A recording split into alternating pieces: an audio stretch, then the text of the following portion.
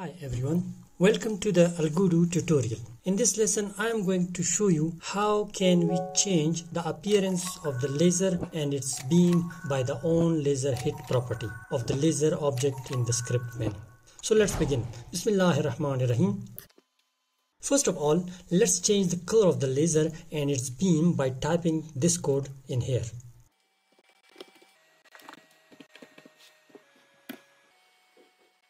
Now let's throw the laser light on a box.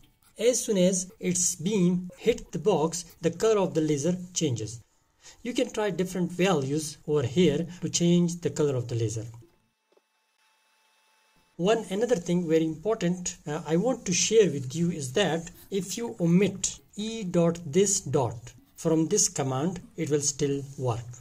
Let's see if it works without e dot this dot.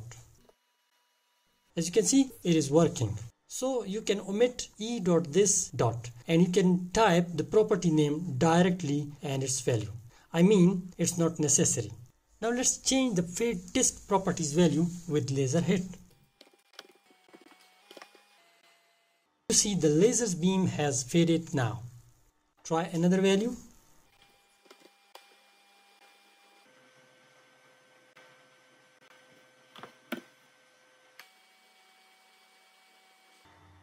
Now let's try to rotate the beam.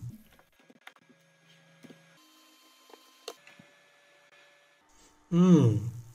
The beam rotated as soon as it touches the box. Here too you can omit e dot this dot.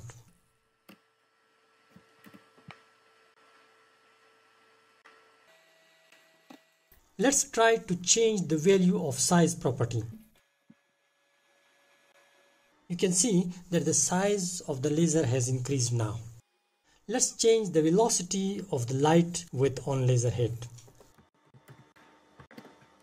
As soon as it hit the box with beam, the speed of light changed and the beam bent towards the ground due to the effect of the gravity.